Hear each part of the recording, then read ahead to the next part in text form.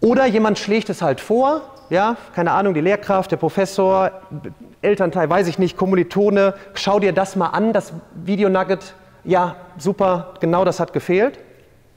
Nächste Ebene, Playlist-Struktur. Und dann nehmen wir mal Analysis, okay, Riesenthema von Sekanten zur Tangentensteigung, ableiten, Funktionstypen, nur für Exponentialfunktionen eine eigene Playlist, nur für LN-Funktionen, nur für gebrochen rationale Funktionen und so weiter unter Analysis gepackt.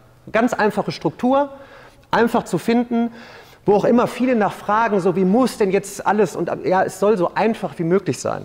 Ne? Was glauben wir denn, warum, warum alle Instagram, TikTok, YouTube nutzen? Ist aber natürlich einfach zu bedienen und einfach von der Struktur her.